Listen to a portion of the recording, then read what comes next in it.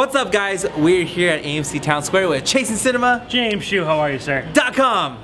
And we're here for the premiere of a few films. Yes, Dracula Untold and The Judge.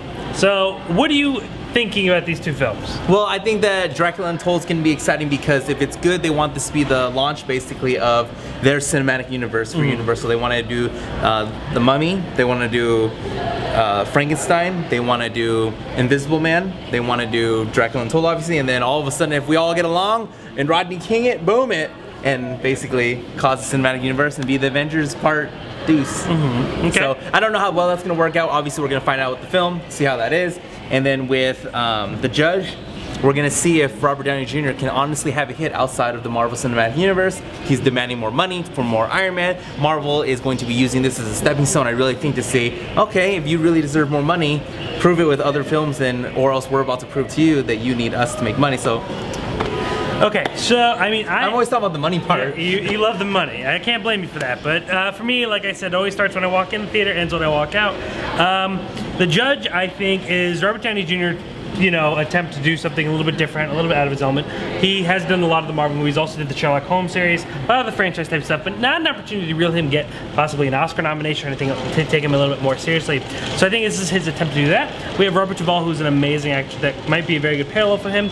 But Dracula Untold, I really haven't seen anything about it. I really don't know anything about it. But um, and I don't even know what you were saying. I've never even heard of that. But if that's true, then I mean, I am a huge. I fan- don't need to make things up. no, this is true. Um, I, I am a huge fan of the Universal movie monsters from you know the 30s and the 40s, the original mummies, the original Draculas, and things like that. Um, but this immediately brings me back to I Frankenstein. I Frankenstein was a film that they made and kind of redid something with an old time movie monster and did it really lazily and it was one of the worst films I've seen in quite some time. Uh, so I'm interested to see. Hopefully, Jack gets a little bit better than Right before I Frankenstein, what did they have?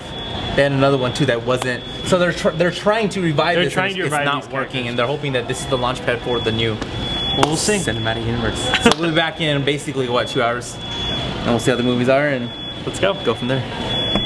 All right, so Dracula Untold, Chasing Cinema. Mr. Shu, Can this be the launch of a new cinematic universe? Um, it might be, depending on how well it does in the box office, but I truly hope not. Uh, Dracula Untold was, it really was, we talked about I Frankenstein before, it really reminded me of that film. It was, they took, um, Frankenstein and Dracula Untold took these iconic pop culture figures right out of literature, um, these characters that we've known to love from, you know, Dracula has been in films as early as 1920s. See, people always credit kind of Bela Lugosi's Dracula in 31, but there's even a Russian film called Dracula with K that they've resonated Dracula being. Anyway, all that now, you know. Um, they took him and made him a very boring and monotone, uninteresting character. Uh, to, to take a character like that and make him boring is, is just an incredible crime. Um, I really got nothing out of this film. I heard a few critics um, in our screening talk about how it was more of a popcorn flick, which I don't know why you wouldn't think it was a popcorn flick. However, I didn't find it fun at all. I couldn't even enjoy it. Um, there is a fellow critic whose uh, opinion I respect very much called a popcorn film. He enjoyed it, but me, it was not for me. I did not find anything fun. The only thing I found redeeming about this film was the score. I thought the score was incredibly well made and very, very perfect to fit the story of Dracula. Um, it- but it felt like it was pushing a dead body, if, if, if so to speak. It just was pushing something that couldn't be pushed. Um, the only thing Dracula told. Go on. Too late. you said dead body, Yeah, Dracula. Wait, Ah? wait, wait, wait, I got one more. The only thing Dracula Untold, Dracula Untold should have remained untold. And wait. And the only thing it does right is suck the life right out of you. Those are, those are, So Luke Evans, good actor, nah. You know, I, I, I don't, I can't blame all on Luke Evans because it feels like he had a character with nothing to work with. They're like, you're Dracula, you know, you want to bite people. But I honestly didn't think they give him anything to really work with. I'm not saying he's doing a bad job, but he really didn't enhance his character either. So I mean, I think it's multiple elements just not working together. So with this tonality of this film, can it be great to see a cinematic universe be born? Again, you know, it goes to kind of your end of the spectrum where it's all about the box office. Will Jack Untold do money? I think it probably will. Um, not much, but I think it might do enough for them to be like, hmm, maybe we could do a mummy movie. But Okay. I mean, without Frankenstein and Dracula Untold, it's just destroying these legacies of these classic movie monsters. Okay, let's move on, move forward.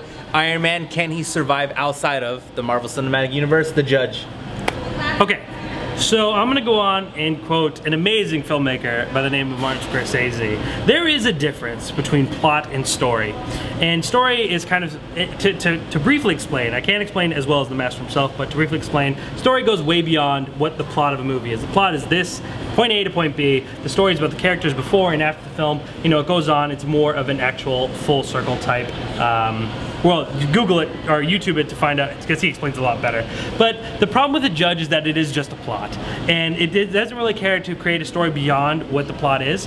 Um, I feel like the story, as the trailers explain, are about a strange son trying to get along with his father, and I feel like everything literally gets in the way of what we want to watch, and that's Robert Downey Jr. Robert Duvall clashing. The scenes that they do have together are amazing. They are electric. The, the, the chemistry they share um, sometimes can break your heart or make you laugh. I mean, it's incredible. But even the main plot of the film of him trying to defend his father in a murder case just feels like it's so unnecessary. It's like, all right, like it becomes kind of a courtroom drama, but it just doesn't feel like effective in any way. It doesn't feel like it, it does, to me, I just honestly felt like all that got in the way. It could have just been a, a son going home after his mother's passing and dealing with his father. But instead there has to be a murder trial in it, and then there's this really, really, uh, like, total out of place subplot about him and a younger girl. I won't go into too much detail because I don't want to spoil anything, but it just doesn't fit. It's like this movie tries to be really dramatic and serious, and we have this really silly, childish, Was she pretty? uh, lowbrow humor. She's very pretty, but the whole twist on it is I won't get into it. Um, it, it just feels like it's in a low. It should be in a lowbrow humor, humor comedy, and it doesn't belong. Robert Downey Jr. is Robert Downey Jr. He has a lot of moments in that, and uh, the audience was laughing more than I thought should have been laughing. I thought there were some scenes where people were laughing, and I didn't think it was funny at all. Um, but I think that was I the may love this film. I think the problem was that it tried to be more of a comedy, uh, like a comedy drama, like This Is Where I Leave You, even though it was obviously a very serious drama. But the director of the film did Shanghai Knights, Fred Claus, the Comedy, wedding, comedy. the wed, the wedding crashers. Comedy. So I, I think he felt a little bit out of his element. and He felt that need to go back to that kind of comedy state, but I think it actually hurt the film more than anything. All right, chasingcinema.com slash The Judge and chasingcinema.com slash Dracula Untold. and you can get a full-on review. Yes, and you can also read more of my stuff because I'm also the A&E senior staff writer of the Rebel Yell. So you can unlv.com slash uh, unlvrebelyell.com. And you just saw Wicked. I did see Wicked. Now, uh, my, my Wicked review actually be going in the Rebel Yell. Uh, I'm still taking it in, but I would recommend everyone to go see it. I, I was it was the first time I saw it. I avoided it like the plague, avoided songs and everything, so I could actually see it the first time. Recently seeing it, and I really enjoyed it. Uh, just made me want to watch The Wizard of Oz again. But uh, to which uh, keep your eye out for my review there. UNLVRebelyell.com. I love it. Facebook, Twitter, like and follow. Seven days from today, we are watching Fury. Brad Pitt. Brad Pitta Shia and LaBeouf. Shia LaBeouf. Shia LaBeouf. Yeah, not interested because of Shiloh. He annoys me. Yeah, but come His on. antics off It's screen. Brad Pitt, man, and Fury. I love Brad Pitt. I, I think this movie's gonna be strong. I'll right. say it now. I think it's gonna be strong. And then we have the Book of Life. Book of Which is a movie I might be the only one who's Dallas really, really excited no. for. I'm really excited for that movie. All right, Zoe Saldana, Avatar. Let's do it. All right. All right, we'll be back. week. Seven days, good movies, chasingcinema.com, film lovers website.